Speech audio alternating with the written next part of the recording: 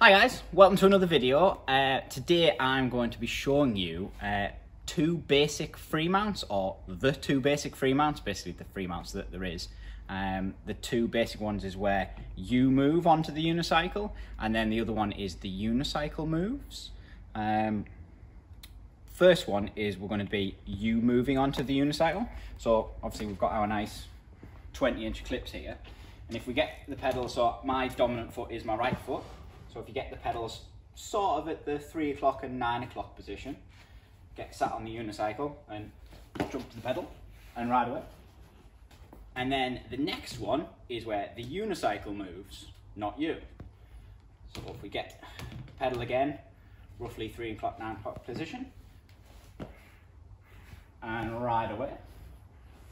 And they are the two basic mounts. Um, you move with the unicycle, or the unicycle moves. Um, obviously, these have slightly different advantages. Um, if you're off road, you want to use where you move, um, and then after that, there's slight variations of that, which I'll show you now. Right, so first variation is where you move with the unicycle, and it would be walking with the unicycle. So walking, step on. So again, another variation of where you move with the unicycle would be jumping to the pedals. So if you get comfy and ride away. And there you go. They are the two basic free mounts and then a couple of variations of them basic free mounts. Um, obviously there's there's there's loads more mounts after that as well. There's jump mounts, there's mounting one foot with your foot on the frame. There's there's lots of mounts, but they're all variations of the two basic free mounts.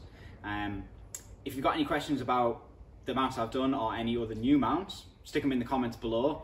Or if you want to see me have a go at all them mounts, let me know in the comments. And if you could do some of them classic YouTuber things, is it like, share, subscribe? If you do one of them things, it would be much appreciated. Other than that, thanks for watching guys.